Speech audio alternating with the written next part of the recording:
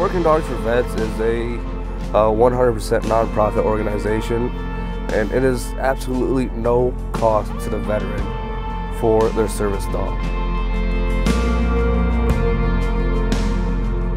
So our motto is saving two lives at once. So we take uh, shelter dogs from kill shelters and we evaluate them. If they meet our standards, we put them into the program to help a disabled veteran.